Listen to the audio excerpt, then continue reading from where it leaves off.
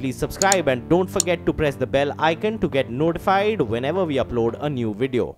Days before Yogi Adityanath completes one year as the Chief Minister of Uttar Pradesh, the BJP has suffered a major jolt in his bastion. For the first time in nearly three decades, the BJP has lost the Lok Sabha Gorakhpur constituency, stunned by the Akhilesh Yadav Mayawati combined. And it's not just Gorakhpur, the BJP has also lost the Phulpur Lok Sabha constituency that was left vacant by Keshav Prasad Maurya, the Deputy Chief Minister of UP. So effectively, the BJP has lost out in UP in both seats home to the sitting Chief Minister and the Deputy Chief Minister.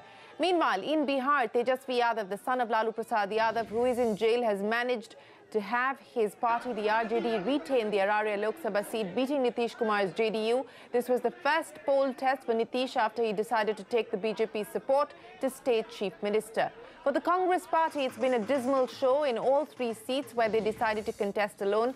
Rahul Gandhi took to Twitter and called the results an expression of anger against the BJP. He also admitted that the Congress needs to rebuild in Uttar Pradesh and it cannot happen overnight.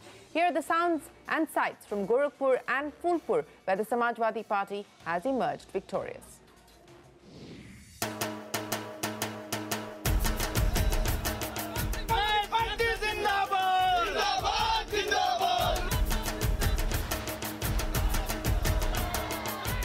जो ये जनता ने फैसला दिया है, यह अप्रत्याशित है।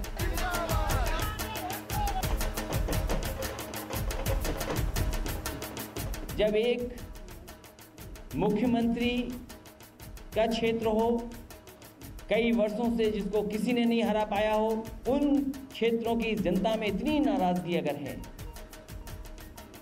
तो सोचिए आने वाले समय में अगर देश का चुनाव होगा तो कैसा होगा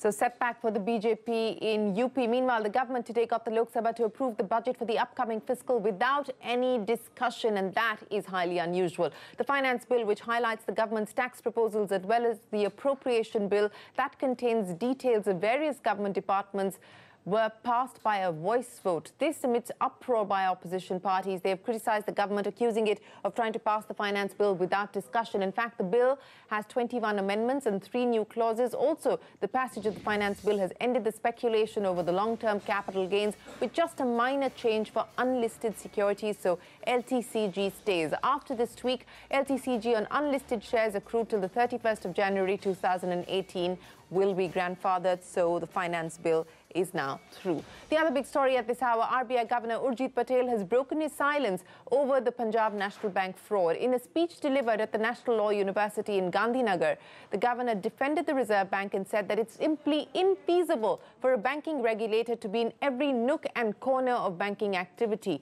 He went on to add that the RBI's regulatory powers over public sector banks are weaker than those over private sector banks. Ritu joins us now with more on Governor Patel's defense. Ritu, take us to the highlights of uh, the RBI governor's speech.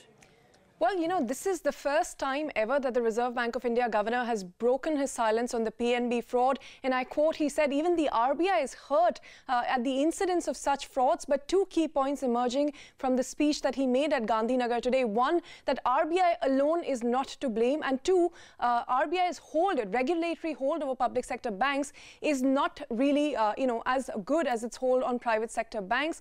Uh, first, to start with, on the PNB fraud specifically, he says it was simply infeasible for the Reserve Bank of India to be in every nook and corner. Now, some critics may blame that a small fraud could go unnoticed, but a 12,000 crore rupee fraud was, a, was too big a fraud for RBI to just not have seen. Uh, he also said that RBI issued precise instructions thrice in 2016 to banks to uh, strictly, uh, you know, warning them of such cybersecurity risks. And yet, uh, there were inefficiencies in the Punjab National Bank's internal board uh, that they were not able to adhere to these uh, advisories given by Reserve Bank of India repeatedly. Uh, he also went on to say, uh, you know, the ownership of uh, public sector banks is not uh, neutral. The regulatory powers of the RBI is not ownership neutral. He said uh, that the regulatory powers over public sector banks is weaker than those over private banks because public sector banks are largely also governed by the finance ministry and this deep uh, fissure in the landscape of banking regulation, which is dual in its nature, that is the finance ministry and the RBI both regulating on it,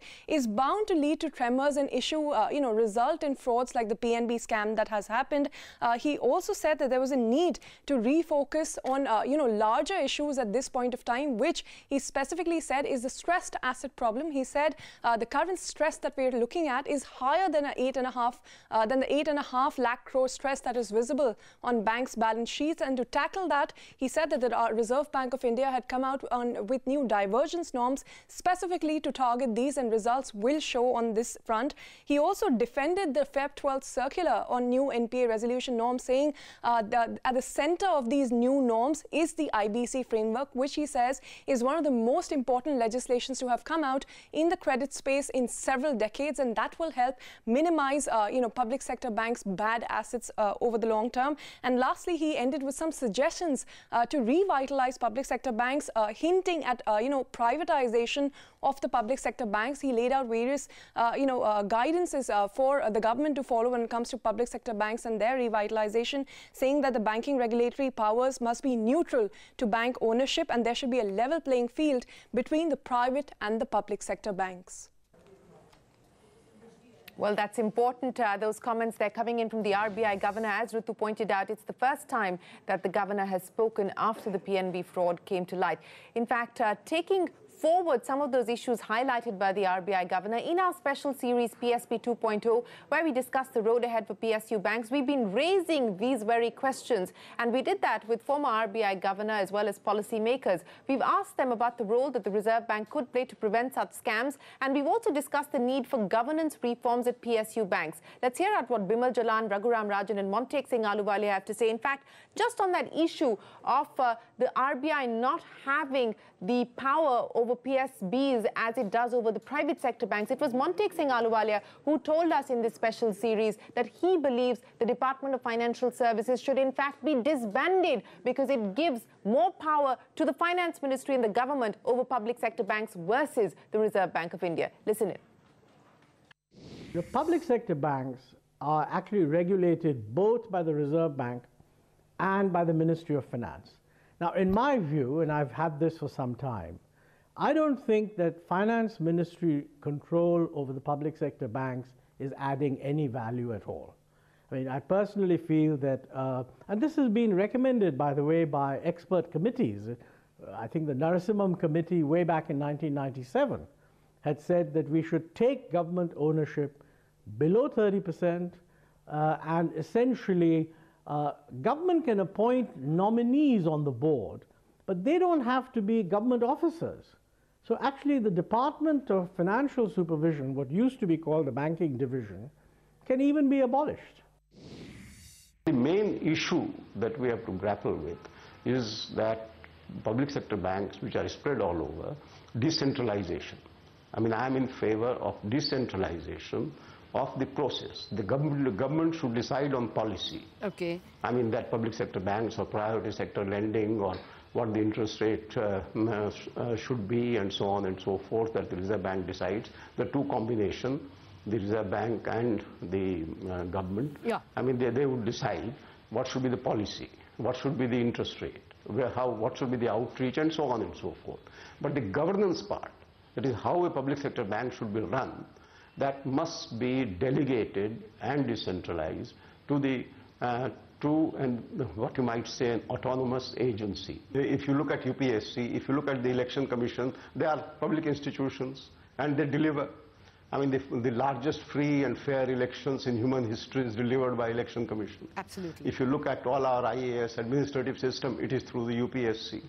So what I'm saying is essentially, I'm trying to emphasize, is, and, why, and you ask yourself the question, that why is it that we have institutions of this type, we have institutions of this type, we have institutions of CAG type, and they function very well, because they don't have to report to the ministry.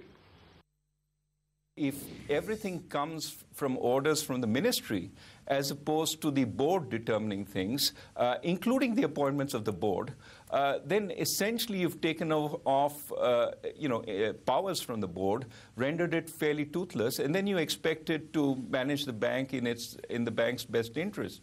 I, I think we need to think very seriously about public sector bank governance reform. Well, former RBI governors and policymakers there on some of the recommendations that have come in from RBI Governor Urjit Patel on reimagining public sector banks.